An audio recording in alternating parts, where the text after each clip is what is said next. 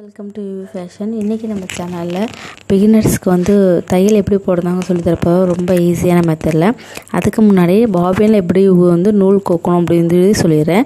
First ஒரு bobbin எடுத்துக்கோங்க. கையால் வந்து ஒரு ரெண்டு சுற்று சுற்றிடுங்க நூலை வச்சு. அதுக்கப்புறம் பாபினில் நூல் கோக்கிறதுக்காக ஒரு ட்ரூல் எடுத்துருக்கோம். இந்த ட்ரூலை பற்றி நான் ஏற்கனவே ஒரு வீடியோவில் சொல்லியிருப்பேன்.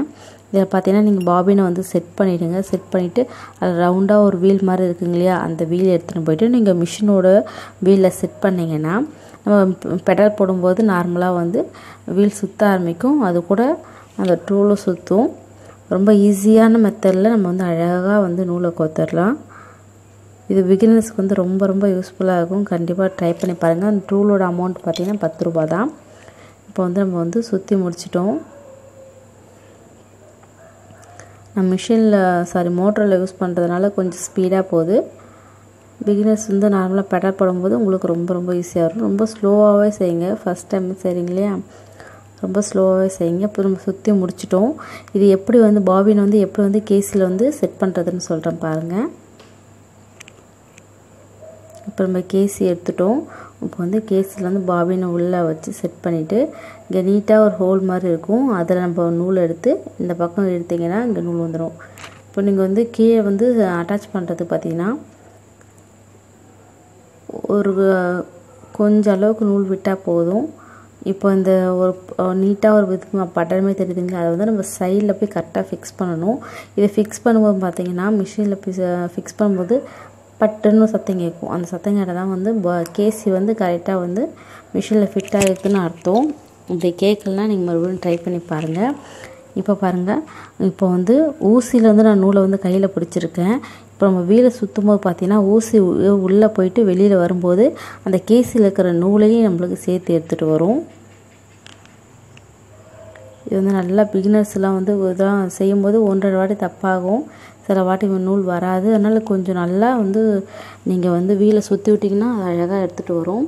நெக்ஸ்ட்டு நீங்கள் பிகினர்ஸாக இருக்கும்போது ஒரு ஒயிட் கலர் துணியை வந்து யூஸ் பண்ணுங்கள் அது எந்த பழைய துணியாக இருந்தாலும் பரவாயில்ல. ஒயிட் கலர் துணியில் ஃபஸ்ட்டு நீங்கள் லைன் பண்ணிக்கிங்க. ஃபஸ்ட்டு ஒரு ரெண்டு மூணு லைன் பண்ணிக்கிங்க. ஒரு ஸ்கேலை வச்சு கரெக்டாக ஸ்ட்ரெயிட்டாக ஒரு லைன் பண்ணிவிட்டு அதில் நீங்கள் தையல் போடும்போது பார்த்தீங்கன்னா உங்களுக்கு வந்து ஓரளவுக்கு ரொம்ப குறைவான நேரத்தில் வந்து நீங்கள் தையலை வந்து நேராக போடுறது கற்றுக்கலாம் ஏன்னா நம்ம வந்து லைன் பண்ணாமல் அப்படியே தையல் போடும்போது நம்ம ஸ்ட்ரைட்டாக வந்து பிகினர்ஸ் வராது இல்லைங்களா? கோணல் வரும். அந்த மாதிரி இல்லாமல் நீங்கள் ஒரு லைன் பண்ணிவிட்டு அது மேலே தையல் போடும்போது பார்த்திங்கன்னா அந்த லைனை விட்டு நம்ம வெளியில் போகாத அளவுக்கு அந்த லைன் மேலேயே மெதுவாக போட்டுட்டு வருவோம். இந்த மாதிரி வந்து கண்டினியூவாக ஒரு ரெண்டு நாள் மூணு நாள் போட்டுன்னு வரும்போது பார்த்திங்கன்னா உங்களுக்கு ரொம்ப குறைவான நாளுக்கு நாட்கள்லேயே பார்த்தீங்கன்னா நீங்கள் வந்து அழகாக வந்து ஸ்ட்ரைட்டாக போடுறதுக்கு நீங்கள் கற்றுப்பீங்க அது மட்டும் இல்லாமல் எல்லா ஷேப்லையுமே போட்டு பாருங்கள் சர்க்கிள் ஸ்கொயர் ரெக்டாங்கிள் எந்த ஷேப் உங்களுக்கு ஈஸியாக வரும்னு நினைக்கிறோம் அந்த ஷேப்லாம் நீங்கள் யூஸ் பண்ணிங்கன்னா ஒரு சூப்பர் சூப்பராக வரும். ஸ்கொயர்லாம் வந்து நீங்கள் போட்டு பார்த்தீங்கன்னா உங்களுக்கு பானைக்கு அதெல்லாம் வந்து தைக்கும்போது ரொம்ப ரொம்ப ஈஸியாக இருக்கும்.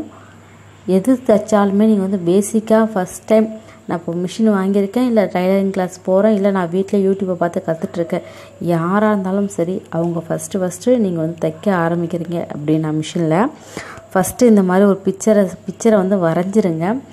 கையால் டார்க்காக தெரிகிற மாதிரி ஒரு பிக்சரை வரைஞ்சிட்டு அதுமேலே நீங்கள் வந்து தைக்கும்போது பார்த்தீங்கன்னா உங்களுக்கு ரொம்ப ஈஸியாக இருக்கும். இப்போ பாருங்கள் உங்களுக்கு இதில் சர்க்கிள் ஸ்கொயர் ரெக்டாங்கிள் எல்லாமே இருக்குது இந்த மாதிரி ஒவ்வொரு ஷேப்பாக நம்ம வரைஞ்சி ரொம்ப சின்னதாக வரையாதுங்க. கொஞ்சம் பெரிய சைஸாக வரைஞ்சிக்கிங்க அப்போ தான் வந்து பிகினர்ஸாக இருக்கவங்க ரொம்ப ஈஸியாக இருக்கும். இப்போ நம்ம ஃபஸ்ட்டு ஸ்கொயரில் ஃபஸ்ட்டு ஃபஸ்ட்டு அந்த லைனில் போடுவோம் இந்த மாதிரி மெதுவாக எடுத்துகிட்டு வாங்க. பெடல் போடும்போது மெதுவாக எடுத்துகிட்டு வந்து இந்த கார்னர் முடியும் போது பார்த்திங்கன்னா ஊசியை உள்ளே உள்ளே இறக்கி விட்டுருங்க. உள்ளே இறக்கிட்டு இப்போ லைட்டாக திருப்புங்க. ஊசி நகரக்கூடாது. துணி மட்டும் தான் நவுத்தணும் இந்த மாதிரி நவுத்தினா தான் அந்த ஸ்கொயருடைய அந்த எல்லா கார்னரும் ஷேப்பாக இருக்கும். இல்லைனா அந்த ஷேப் தெரியாது உங்களுக்கு. இந்த மாதிரி ஒவ்வொரு கார்னர் வரும்போதும் கரெக்டாக அந்த ஊசியை நகர்த்தாமல் துணியை மட்டும் நீங்கள் திருப்பி விட்டிங்கன்னா உங்களுக்கு அந்த ஷேப் கரெக்டாக வரும். இந்த மெத்தட் வந்து ரொம்ப ரொம்ப ரொம்ப யூஸ்ஃபுல்லாக இருக்கும். கண்டிப்பாக பிகினர்ஸ்க்கு கண்டிப்பாக ட்ரை பண்ணி பாருங்கள் டைலரிங் கிளாஸ் போனால் நார்மலாக வந்து தையல் போடுங்க அப்படின்னு சொல்லிட்டு ஒரு கிளாத்தை கொடுத்து தச்சு பார்க்க சொல்லுவாங்க. நம்ம புதுசாக போகிற இல்லைங்களா? நம்மளுக்கு தையல் எப்படி போகணும்னு தெரியாது. அதுவும் மிஷின் மிதிக்கிறது சில சில சமயம் வேகமாக போகும். சில சமயம் ரொம்ப ஸ்லோவாக போகும். அதில் வந்து நம்ம ஏதாவது கோணமாலாம் தைப்போம். இந்த மாதிரி நீங்கள் லைன் பண்ணி தைக்கும் போது பார்த்தீங்கன்னா லைன் பண்ணியிருக்கோம் லைன் மேலே தைப்போம் அப்படின்ற அந்த ஒரு தாட்டில் அழகாக தைச்சிட்டு வருவீங்க. இந்த மாதிரி ஒவ்வொரு ஷேப்பாக நீங்கள் வந்து தைச்சி பாருங்கள் பிகினர்ஸ் வந்து கொஞ்சம் வந்து ரவுண்டெலாம் ரவுண்ட் ஷேப்பில் வந்து கொஞ்சம் தைக்கிறது கொஞ்சம் கஷ்டமாக இருக்கும். ட்ரை பண்ணி பாருங்கள் ஃபஸ்ட்டு லைன் லைனாக ஒரு ஒரு நாளைக்கு பார்த்தீங்கன்னா க ஸ்ட்ரெயிட்டாக தைங்க. அதுக்கப்புறம் ஸ்கொயர் தைங்க. ரெக்டாங்கிள் தைங்க. இந்த மாதிரி ஒவ்வொரு ஷேப்பாக வந்து நீங்கள் தைக்கும்போது லாஸ்ட்டாக வந்து நீங்கள் வந்து ஸ்கொயர் தைக்கலாம். ஏன்னா அது கொஞ்சம் வளைவாக பொறுமையாக தைக்கணும் இல்லைங்களா? அந்த மாதிரி வந்து கொஞ்சம் இப்போ அடுத்தது லாஸ்ட்டாக ட்ரை பண்ணி பாருங்கள் இந்தமாரி ஒரு நாளைக்கு பார்த்தீங்கன்னா நீங்கள் வீட்டிலே மிஷின் வச்சுருந்தீங்கன்னா நீங்கள் எப்பப்போலாம் ஃப்ரீயாக இருக்குங்களோ அப்போலாம் இந்த மாதிரி சின்ன சின்னதாக ட்ராயிங் மாதிரி வரைஞ்சிட்டு நீங்கள் அதில் தைச்சிங்கன்னா உங்களுக்கு ரொம்பவே சூப்பராக வரும்.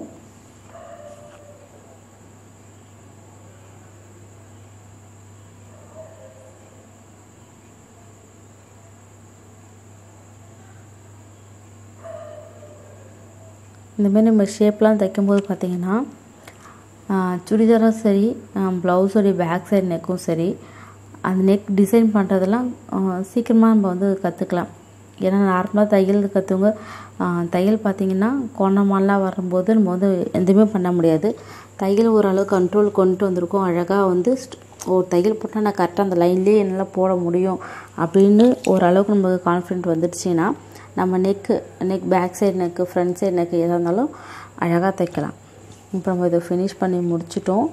இந்த மாதிரி நீங்கள் நிறைய ஷேப் வச்சு தைச்சி பார்க்கலாம். இப்போ பார்த்தீங்கன்னா இப்போ நான் இந்த துணி இந்த கார்னர் எல்லாத்தையும் தைக்கிறேன். கச்சிஃப் மாதிரி தைச்சி காட்டுறேன். இதை எப்படி தைக்கணும்னு காட்ட பாருங்கள் ஃபஸ்ட்டு ஒரு சின்ன ஒரு காலஞ்சு அளவுக்கு ஒரு சின்ன மடிப்பு மடிச்சிக்கிங்க. மடிச்சிட்ட பிறகு அதை திருப்பி இன்னொரு மடிப்பு மடிச்சிக்கிங்க. இது உங்களுக்கு பிடிக்க தெரில அப்படின்னு சொல்கிறாங்க பார்த்தீங்கன்னா நீங்கள் ஒரு இதில் குண்டூசி வந்து குத்தி வச்சுக்கலாம். இப்போ இந்த மாதிரி அந்த சின்ன மடிப்பை மட்டும் ஃபஸ்ட்டு மிஷினில் வச்சுருங்க. அதுக்கடுத்து அதே மடிப்பை நீங்கள் மடித்தாலே உங்களுக்கு வரும். இதேமாரி நீங்கள் கீழே மடிச்சுட்டு ஃபஸ்ட்டு ஒரு மடிப்பு அதுக்கு திருப்பி ஒரு மடிப்பு மடிச்சுட்டு இப்போ நம்ம இதில் குண்டூசியை வந்து குத்தி வச்சிடலாம். இந்தமாரி குத்தும் போது பார்த்திங்கன்னா உங்களுக்கு வந்து அந்த மடிப்பு வந்து விலகாமல் இருக்கும். தையலும் நீங்கள் வந்து ஈஸியாக அழகாக போட்டுடலாம். நம்ம நல்லா ட்ரைனிங் ஆன பிறகு குண்டூஸ்லாம் யூஸ் பண்ண தேவையில்ல. அப்படியே மடித்து வச்சாலே அழகாக போட்டுடலாம். பிகினர்ஸ்க்கு இந்த மாதிரி யூஸ் பண்ணி பாருங்கள் இப்போ நம்ம ஃபிக்ஸ் பண்ணிட்டோம். இப்போ தையல் பார்த்தீங்கன்னா நான் மடித்து வச்சுருக்கேன் இல்லையா? இந்த கார்னரில் கரெக்டாக போடணும். மெதுவாக தைங்க ரொம்ப ரொம்ப மெதுவாக தைங்க. அப்போ தான் வந்து கரெக்டாக வந்து அந்த லைனில் நம்மளால் தைக்க முடியும். எடுத்தோடனே நம்ம ஸ்பீடாக தைக்கணும் அப்படின்னு சொல்லிட்டு நீங்கள் ஸ்பீடாக ஆரம்பிச்சிங்கன்னா தையல் வந்து ஸ்ட்ரைட்டாக வராது. அதனால் பேசிக்காக கற்றுக்கிறவங்க ரொம்ப மெதுவாக தைங்க. ஏன்னா பெடல் போடுறது கொஞ்சம் புதுசாக இருந்தால் கொஞ்சம் கஷ்டமாக இருக்கும். மெதுவாக தைக்கும்போது தான் நம்ம வந்து எந்த டிசைன் தைக்கணும்னு நினைக்கிறோமோ அந்த டிசைன் நம்ம வந்து அழகாக ஃபினிஷ் பண்ணலாம். இந்த மாதிரி மெதுவாக இந்த கா தையல் ஓட்டிலே போட்டுவாங்க. இப்போ நம்ம இது ஃபினிஷ் பண்ணிட்டோம். இப்போ அடுத்த கார்னரை இதேமாரி மடிக்கலாம்.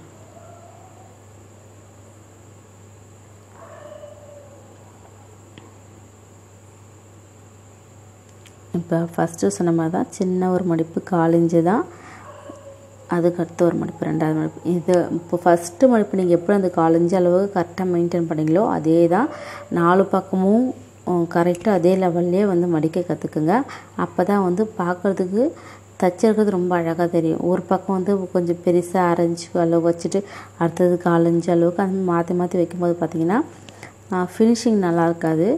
எது செஞ்சாலும் வந்து ஒரே லெவலில் தைங்க அப்போ தான் ரொம்ப சூப்பராக இருக்கும். இந்த மெத்தட் உங்களுக்கு எல்லாருக்கும் ரொம்ப யூஸ்ஃபுல்லாக இருக்கும்னு நினைக்கிறேன். இந்த வீடியோ உங்களுக்கு பிடிச்சிருந்துச்சி இந்த மெத்தட் உங்களுக்கு பிடிச்சிருந்துச்சின்னா கண்டிப்பாக ட்ரை பண்ணி பாருங்கள் கமெண்ட் பாக்ஸ்லேயும் சொல்லுங்கள் அப்போ தான் எனக்கு தெரியும். இப்போ பாருங்கள் எல்லாத்தையும் நம்ம ஃபினிஷ் பண்ணி முடிச்சிட்டோம். ரொம்பவே சூப்பராக வந்திருக்கு. பிகினர்ஸ்க்கு இந்த வீடியோ ரொம்ப ரொம்ப யூஸ்ஃபுல்லாக இருக்கும்னு நினைக்கிறேன். அந்த வீடியோ பிடிச்சிருந்துச்சின்னா லைக் பண்ணுங்கள் ஷேர் பண்ணுங்கள் கமெண்ட் பண்ணுங்கள் மறக்காமல் எங்கள் சேனலை சப்ஸ்கிரைப் பண்ணுங்கள் தேங்க்யூ ஃபார் வாட்சிங் ஃப்ரெண்ட்ஸ் தேங்க்யூ